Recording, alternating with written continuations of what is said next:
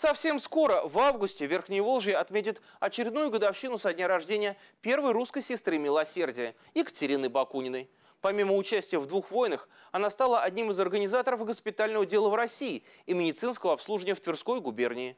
Неудивительно, что уже не первое лето в областном центре проходит церемония награждения лучших медсестер региона, которым, среди прочего, вручается и медаль Екатерины Бакуниной.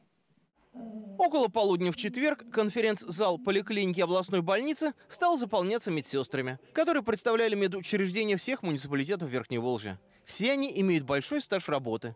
Кто-то вообще всю жизнь трудится на одном и том же месте, как, например, Елена Тарасова.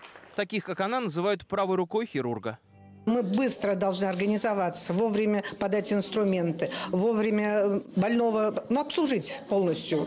Где-то час подготовка идет операционной.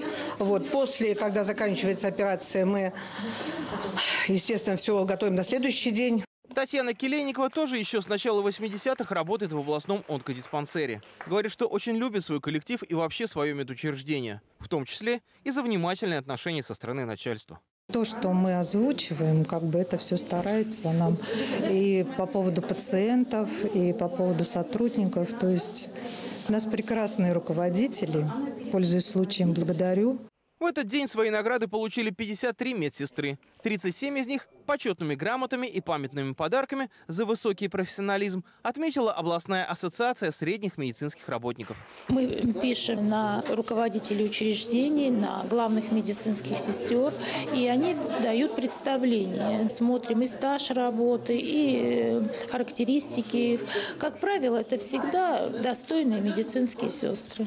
А отзывы пациентов считаются? Обязательно.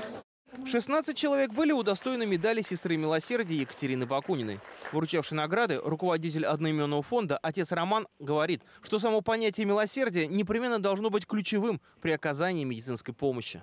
Внимание, э, сострадание и милосердное отношение к пациенту – это, наверное, половина э, уже э, здоровья и выздоровления этого человека.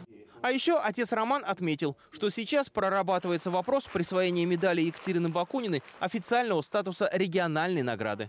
В случае положительного решения это, несомненно, даст дополнительные и вполне конкретные бонусы представителям этой гуманной профессии.